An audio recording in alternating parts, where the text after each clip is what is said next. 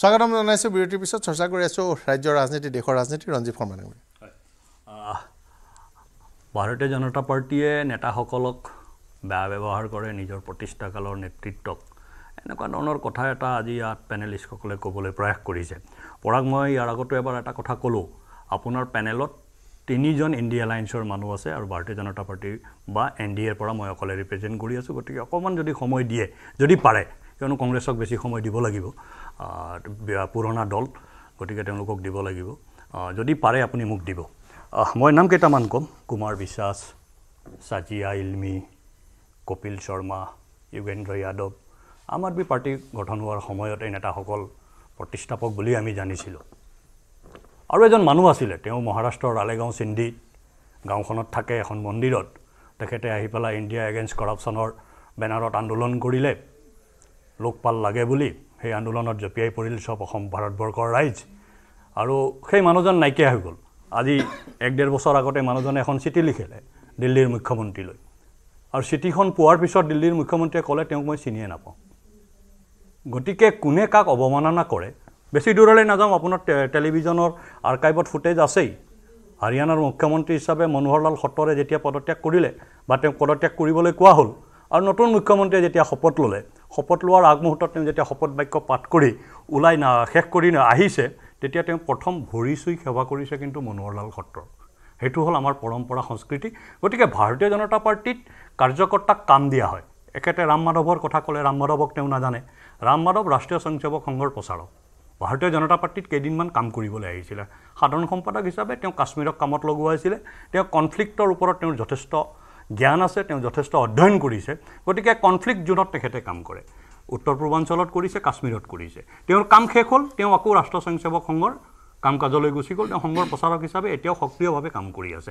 ভাৰতীয় জনতা পাৰ্টীৰ কাম কাজ কৰাৰ গোটেই ষ্টাইল বা ভাৰতীয় জনতা পাৰ্টীত যিসকল লোকে ডেডিকেটেডলি নিজৰ জীৱন উৎসৰ্গা কৰি কাম কৰে তেওঁলোকক লৈ পেলাই কোনোবাই কিবা প্ৰশ্ন কৰিলে মানে সেই প্ৰশ্নৰ উত্তৰটো জনসাধাৰণে দিয়ে। আজি ৰাম মাধৱেই হওক বা ৰামলালেই হওক বা বি এল সন্তোষেই হওক আমাৰ যিসকল প্ৰচাৰকে কাম কৰি আছে আজি আমাৰ অসমত ফণিদা আছিলে ফণী শৰ্মা ফণিদাক হঠাৎ দলে ক'লে যে আপুনি হাৰিয়ানা যাব লাগে তাত সংগঠন আৰু অধিক শক্তিশালী কৰিব লাগে। ফণিদা এক মুহূৰ্তত হাৰিয়ানা গৈ পাইছে হাৰিয়ানাৰজন অসমলৈ আহিছে আহি দুমাহত তেখেতে অসমীয়া ভাষা শিকি পেলালে। গতিকে আমি কাম তেনেকৈ কৰোঁ পৰাক। গতিকে আমাৰ নেতৃত্ব আমাৰ দলৰ ভিতৰত কাৰোবাক সন্মান কৰা নকৰা সেইটো না আমাৰ ইয়াত ডিচাইড হয় যে কাম কোনে কি কৰি আছে। আমাৰ ইয়াত নেতা নাই। আমি সকলো কাৰ্যকৰ্তা। আমি নেতাৰ ওপৰত নাযাওঁৱে। মই চাওক আম আদমি পাৰ্টীয়ে কথাটো ক'লে কাৰণে মই বাহিৰে কিন্তু আমাৰ ইয়াত টিকেট নাপাই পদত্যাগ কৰা নাই। মানে আৰ পি দাৰ আৰ পি দাৰ কথা ভাৰতবৰ্ষৰ ইতিহাসতেই আপুনি যদি চায় যিসকল আজিৰ তাৰিখতো আৰ পি শৰ্মা বা অন্যান্য যিসকল লোক আছে তেওঁলোকক যদি কোৱা হয় তেওঁলোক দললৈ ঘূৰি আহিব। আজি উমা ভাৰতীয়ে হওক বা কল্যাণ সিঙে হওক প্ৰয়াত তেওঁলোকে দল এৰি গুচি গৈছিল। মই নকওঁ যে আমাৰ দলৰ পৰা মানুহ যোৱা নাই গৈছিলে। কিন্তু তেওঁলোক মদনলাল খুৰানা তেওঁ গৈছিলে দিল্লীৰ প্ৰথম মুখ্যমন্ত্ৰী।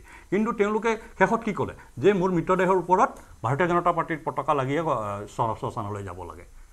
গতিকে তেনেকুৱা ধৰণে আৱেগিকভাৱে আমি পৰিয়াল হিচাপে আমি থাকোঁ কাম কৰোঁ। গতিকে ইয়াত আমাক এইবিলাক কথা কৈ লাভ নাই। মানে কাৰোবাক কৰা হৈছে কাৰোবাক আজি আজি আজি লালকৃষ্ণ আদৱানীজীক। লালকৃষ্ণ আদৱানীজীক ভাৰত ৰত্ন আমি লালকৃষ্ণ আদৱানী আৰু অটল বিহাৰী বাজপেয়ীৰ ফটোত পুষ্পাঞ্জলি নকৰাকৈ বা ফুল এপাহ নিদিয়াকৈ দলৰ কাৰ্যালয়ত নোসোমাওঁ। আমাৰ কাৰণে আমাৰ মা দেউতা যেনেকৈ ঘৰত আছে আমাৰ সামাজিক জীৱনত তেওঁলোক আমাৰ পিতৃ হয়। গতিকে আমাৰ প্ৰধানমন্ত্ৰীয়ে হওক বা আমাৰ দলৰ যিকোনো এজন কাৰ্যকৰ্তাই হওক আজি মোদীৰ কথা কৈছে মোদীৰ মোদীৰ মোদীৰ নামত পাৰ্টি চলি আছে। হয় আমি গৌৰৱান্বিত নৰেন্দ্ৰ মোদীৰ দৰে বিশ্বৰ আটাইতকৈ জনপ্ৰিয় নেতা এজন আমাৰ দলৰ নেতা হয়। আমি তেওঁৰ নেতৃত্বত কাম কৰি আছোঁ ভাৰতীয় জনতা পাৰ্টীৰ প্ৰত্যেকটো মূৰত ঊনৈছশ বাৱন্ন চনত যি সময়ত নৰেন্দ্ৰ মোদীৰ জন্মই হৈছিল মাত্ৰ সেই সময়ত গ্ৰহণ কৰা সিদ্ধান্ত ৰাম মন্দিৰ তিনিশ সত্তৰ ইউনিফৰ্ম চিভিল কোড তিন তালাক ইত্যাদি ইত্যাদি ইত্যাদি সিদ্ধান্ত আজি দলে সেই সময়ত লোৱা সিদ্ধান্ত আজি নৰেন্দ্ৰ মোদীৰ নেতৃত্বত আমি ৰূপায়ণ কৰিছোঁ তাক আমি সফলতাৰে ৰাইজৰ সন্মুখত দেখুৱাম যিসকলে বিজেপিক ভোট দিব বুলি উত্তৰ দিছিল তেওঁলোকক এটা আৰু প্ৰশ্ন সোধা হৈছিল যে প্ৰাৰ্থীক ভোট দিব নে নৰেন্দ্ৰ মোদীক ভোট দিব। সাতাশী শতাংশই কৈছে যে নৰেন্দ্ৰ মোদীৰ কাৰণে দিব পাৰ্টী আমিতো সেইকাৰণে গৌৰৱ কৰোঁ না। আমাৰ তাত না আমিতো গৌৰৱ কৰোঁ তিনিটামান কথা বিজেপিক ভোট দিম বুলি কোৱা লোকসকলে বৰ স্পষ্টকৈ কৈছে। সুধিছে যে ৰাম মন্দিৰ পলিটিকেল ইছ্যু কৈছে ৰাম মন্দিৰ পলিটিকেল ইছ্যু ৰাম মন্দিৰৰ কাৰণে আপুনি আগতে ভোট দিয়া নাছিল এইবাৰ বিজেপিক ভোট দিব। ছিক্স পাৰ্চেণ্ট চুইং এইটো একদম পোনপটীয়াকৈ কৈছে। আৰু মানুহবোৰে ইছ্যু কিন্তু মোৰ এইটো কথাত মই নাজানো যে শেষৰ সংখ্যাটো কি হয়। ইছ্যুও ভালকৈ আইডেণ্টিফাই কৰিছে। মানুহে কৈছে এইবাৰ ইলেকশ্যন কি ইছ্যুত হ'ব? কৈছে যে নিয়োগ মুদ্ৰাস্ফীতি আৰু আইন শৃংখলা। একদম ইছ্যু লাগে। কিন্তু তাৰপিছত প্ৰশ্নটো সোধা হৈছিল যে এইকেইটা সমস্যা কোনে সমাধান কৰিব পাৰিব? তেতিয়া কৈছে যে কোনে অহা পাঁচ বছৰত সমাধান কৰিব পাৰিব? নৰেন্দ্ৰ মোদী। যিটো উত্তৰ দিছে সেই উত্তৰটো কাউণ্টাৰ হ'ব। মই এক মিনিট। পৰাগ ভাৰতীয় জনতা পাৰ্টীৰ মঞ্চত ভাৰতীয় জনতা পাৰ্টীৰ বেনাৰত ভাৰতীয় জনতা পাৰ্টীৰ ৰাজনৈতিক মতাদৰ্শৰ আধাৰত নৰেন্দ্ৰ মোদীৰ জন্ম হৈছে বিকাশ হৈছে আৰু নেতৃত্ব আহিছে আৰু সেই নৰেন্দ্ৰ মোদীৰ নেতৃত্বত ভাৰতীয় জনতা পাৰ্টীয়ে। ইলেকশ্যন খেলি আছে গতিকে ভাৰতীয় জনতা নেকি পাৰ্টী বুজাব মানে লাগিব, মোদী নে বিকিনি বুজাব একদম লাগিব। স্পষ্ট মই খালি- কথা। মই মোদীজীৰ কেৱল দৰে এটা এজন বাক্য ক'ব বিচাৰিছোঁ। গৌৰৱশালী নেতা আমি পাইছো প্ৰত্যেকজন কাৰ্যকৰ্তাই আমি গৌৰৱ এটা যে নেৰেশ্যন সৃষ্টি হৈছে দেশজুৰি আৰু যিটো এতিয়া নিৰ্বাচনলৈ পিছু কৰিছে সেই নেৰেশ্যনটো কিন্তু বিৰোধী নেতাসকলে সৃষ্টি কৰিছে যে নৰেন্দ্ৰ মোদী অতি শক্তিশালী আৰু অতিশয় তেওঁ মানে তেওঁৰ মতেই চলে আৰু একো নাই। এই কথাটো কিন্তু বাকী মিডিয়াই কৰিছে বিজেপিয়ে কৰিছে সেইটো বাদ দিয়ক। কিন্তু বিৰোধী নেতাসকলে দিনে দিনে গালি পাৰি পাৰি পাৰি পাৰি তেওঁক একদম সাংঘাতিক শক্তিশালী বুলি মানুহৰ মনে মগজুৱে সোমোৱাই দিছে। এইটো এটা একদম সাংঘাতিক কৰে। আৰু দেখিছোঁ আজি ৰেচপণ্ডেণ্টসকলে এইটোৱে কৈছে। নে কি দা বিজেপি এটা শৃংখলাবদ্ধ দল এই কথা কোনো দ্বিমত নাই। তলৰ পৰা ওপৰলৈকে তেওঁলোকে যিটো শৃংখল তলে দলটো পৰিচালনা কৰে বিভিন্ন স্তৰ বিভিন্ন শাখা প্ৰশাখাত যিদৰে পৰিচালনা কৰে কোনো ৰাজনৈতিক দলৰ কিন্তু তেনেধৰণৰ স্তৰে স্তৰে তেওঁলোকৰ সংগঠন কৰা নাই। আৰু বিজেপি এটা ভাল কোৱালিটি মই দেখিলোঁ যে তেওঁলোকে কৰ্ম কৰা মানুহখিনিক স্বীকৃতি দিয়ে। কালি এটা ধৰি আনি তেওঁলোকে মন্ত্ৰী বনাই দিছে। কাম কৰা মানুহ বিজেপিৰ কাম কৰা মানুহ। কালি চেণ্ট্ৰেল মিনিষ্টাৰৰ টিকেট ড্ৰপ কৰাই দিছে। এম পিৰ টিকেট ড্ৰপ কৰাই দিছে। কিন্তু কংগ্ৰেছ দলত মই এটা বস্তু লক্ষ্য কৰিলোঁ আগদিনাখনলৈ কংগ্ৰেছ দলৰ সকলো সুবিধা ল'ব যেতিয়া আগৰ চৰকাৰ আছিল যিসকলে আটাইবোৰ সুবিধা লৈছিল আৰু যিসকলে কংগ্ৰেছ দলৰ অফিচটো ৰখি আছিল ৰখি থকা মানুহখিনি আজিও ৰখিয়ে থাকিলে। আৰু যিসকলে সেই কংগ্ৰেছ দলৰ পৰা আটাইবোৰ বেনিফিট ল'লে সেইসকলে কিন্তু এতিয়া জাত কৰি অন্য দললৈ গুচি গ'ল। ত্যাগ সেইটোৱে নেকি? তেওঁক চিনাকি কৰি দিছিল কংগ্ৰেছে। মানে তেওঁক। বনাইছিল কংগ্ৰেছে।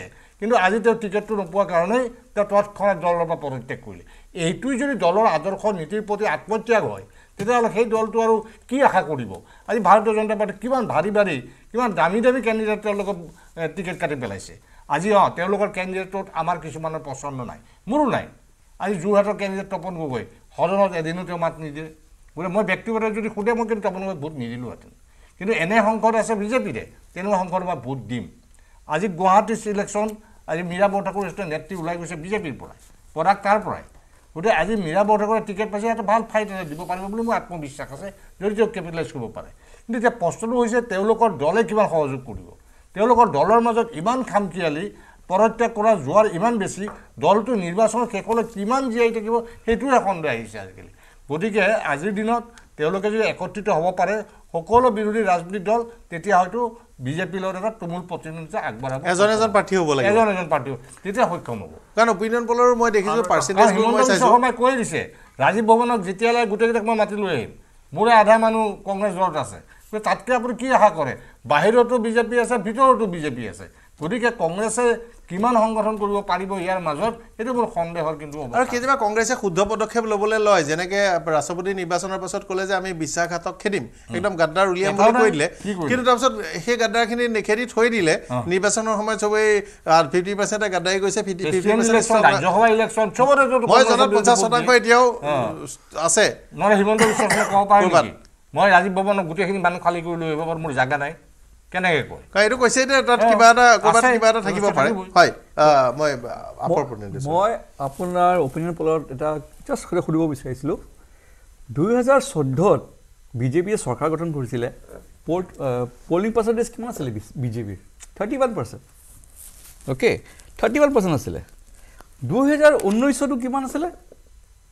থাৰ্টি ওৱান পাৰ্চেণ্ট আপুনি দেখা আছে এতিয়া forty eight percent is it possible সোতৰ শতাংশ জাম্প হ'ব পাৰে নেকি? থাৰ্টি নাইন আছিলে আপুনি ভুল কৈছে।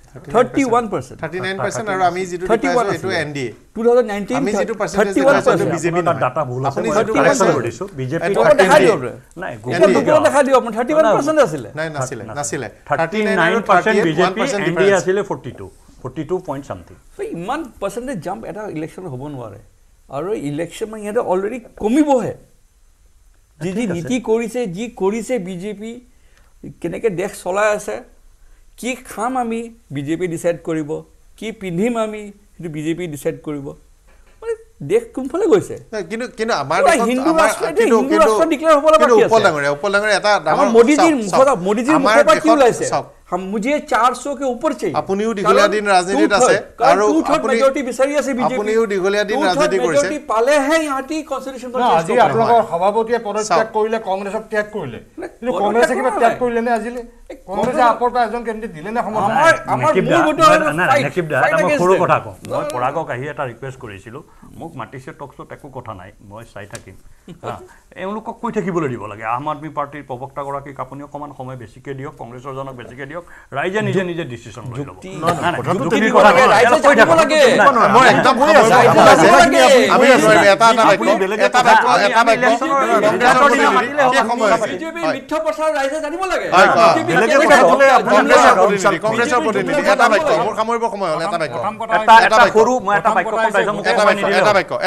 সেইটো ক'লো কথা গোটেই চৰ্চাটো হ'ল। যে কংগ্ৰেছৰ কোনে গ'ল কি গ'ল এইটো চৰ্চা হ'ল।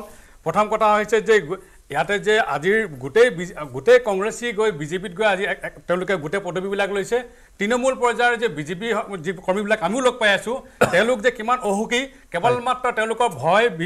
ৰাখি কিনে ৰাখি নগৰ। আছে আৰু দুই নম্বৰ। কাক গোস্বামী মোক অলপ নগৰ। ক'ব দিব গোস্বামী আজি নগৰ। কা গোটেই গোস্বামী মানুহে নগৰ। প্ৰতিবাদ কৰিছে কিন্তু। কাৰ ক'লে কি যে এফালে কৈছে ক্লছ ছিক্স আমি খিলঞ্জীয়াৰ গোস্বামী নগৰে মই গোস্বামী নগৰে ওচৰলৈ আহিছো আমি- ধন্যবাদ জনাইছো আৰু গোস্বামী নগৰে এইবিলাক ওচৰলৈ ৰাইজে আহিছো উত্তৰ দিব গোস্বামী নগৰে অহা ওচৰলৈ আহিছো ইলেকশ্যনত নিশ্চয় উত্তৰ দিব। আমি এটা চিটত ইলেকশ্যন খেলিম। হয়। বিৰোধীক একত্ৰিত কৰি আমি ইলেকশ্যন খেলিম। আপুনি আমাৰ ভুল শুদ্ধ দেখুৱাই দিছে। তাক আমি ডিনাই কৰা নাই। আমি নতুন দল। শিকিবলগীয়া আমাৰ বহুত আছে। মই অকপতে স্বীকাৰ কৰিছোঁ। বিপৰীত পক্ষৰ যিখিনি ভাল গুণ সেইখিনিও স্বীকাৰ কৰিছোঁ আৰু এইখিনি অহা দিনবিলাকত আমি শৰ্মা। কংগ্ৰেছক এক প্ৰকাৰে কি বুলি ক'ম মই মোৰ তাত শব্দ নাই। তথাপিও মনোৰঞ্জন তালুকদাৰ বৰপেটাত ধানুৱাৰ ডিব্ৰুগড়ত ঋষি তেজ শোণিতপুৰত আৰু কংগ্ৰেছ বিৰোধী যিটো ঐক্যমঞ্চ শক্তিশালী। মোৰ বিশেষ ক'ব লগা নাই। আমি এটা কথা স্পষ্টভাৱে আমাৰ মুখ্যমন্ত্ৰীয়ে কৈছে যে তেৰখন আসনত আমাক কোনো পৰাজিত পৰিৱেশ পৰিৱেশ আমি আমি তেৰ। তেৰত গুচি গৈছো। পৰিৱেশ এইটো পাৰে। পৰিৱেশে আমাক কৈছে যে তেৰখন আসনত নেশ্যনেল ডেমক্ৰেটিক এলায়েন্সৰ পাৰ্টি আমাৰ নে- অসমত জিকিব গতিকে। তেৰ তেৰজন সাংসদ আহি। এঘাৰৰ পৰা তেৰ কালি হয়তো তেৰৰ পৰা আকৌ সাতো হ'ব পাৰে নাই, এই। মুহূৰ্তত কোৱাটো কঠিন ইছ্যুলৈ কথা. বিৰোধী দলে কিমান আগবঢ়াই নিব পাৰিব? কাৰণ মই বিশ্বাস নকৰোঁ বিৰোধী দলৰ যিটো অৱস্থা হৈছে তেওঁলোকৰ এটা দলৰ মাজতে কাজিয়া বাকী তিনি ষোল্লটা আছে নে চৈধ্যটা দল কাৰো লগত কাৰো সম্পৰ্ক নাই। একত্ৰিত হ'ব ক'বলৈ পাৰে, তেতিয়াহ'লে আজি ভৱেন বৰুৱাই যেতিয়া ভৱেন চৌধুৰীয়ে এৰি দিছে চিট আপোনালোকে কিয় এটা চিট। এৰি দিব নোৱাৰে। আপুনি যিটো যিটো? নেকিব দা এটা সৰু কথা এৰি দিব। নেকিব দা এটা সৰু কথা এই যে আৰু বিৰোধী চলি বিৰোধী আছে, ভোট শ্বেয়াৰটো কৈ আছে হয়। পৰাগে সময় যিটো। কৈ আছে ঊনৈছ আৰু পঁয়ত্ৰিছ ঊনৈছততো বি পি এফো আছে ইউ ডি এফো আছে জে এছ পিও আছে সেই ঊনৈছত পৰাগে যিটো কৈ আছে গতিকে। সেইটো কংগ্ৰেছ নেতৃত্বত নাই মই জনাত কিন্তু আশা কৰিছো মানে মানে ক'ত ৰাইজে সিদ্ধান্ত দেখি থাকে। ৰাইজে শুদ্ধ সিদ্ধান্ত ল'ব ৰাইজে শুদ্ধ সিদ্ধান্ত লৈছে। বিবেক বিবেচনাৰ সিদ্ধান্ত ল'ব আৰু। ভোট দিবই। সকলোৰে বক্তব্য শুনিলে আৰু কিন্তু আপোনালোকে বিবেক বিবেচনা কৰি বিচাৰ কৰিহে ভোট দিব পচন্দৰ সাংসদ পঠিয়াব পচন্দৰ চৰকাৰ গঠন কৰিব পচন্দৰ প্ৰধানমন্ত্ৰী পাতিব আৰু ভোট দিবই কাইলৈ নিৰ্বাচনৰ ঘোষণা হ'ব তিনি বজাত নিউজ এইটিন অসম নৰ্থ ইষ্টে লাইভ সম্প্ৰচাৰ কৰিব অসমৰ তাৰিখ কিমান অৰুণাচলৰ তাৰিখ কিমান বিহুৰ আগত নে পিছত ছিকিমৰ তাৰিখ কিমান আৰু অসমৰ বিহুৰ আগত কিমান তাৰিখে হ'ব। সাতৰ পৰা ন তাৰিখে এটা পৰ্যায়ত অসমত নিৰ্বাচন হোৱাৰ সম্ভাৱনা ইতিমধ্যে দেখা পোৱা গৈছে। আয়োগৰ বিষয়াসকলৰ অসমত প্ৰস্তুতি দেখি তেনেই লাগিছে। গতিকে আমি বিতং খবৰ লৈ আহিম। কিন্তু এই মুহূৰ্তত মই বিদায় লৈছোঁ। ধন্যবাদ। সাধাৰণ ষ্টীল এনেকৈ পৰে। মাইথন ষ্টীল এনেকৈ পৰে। ধমকৈ।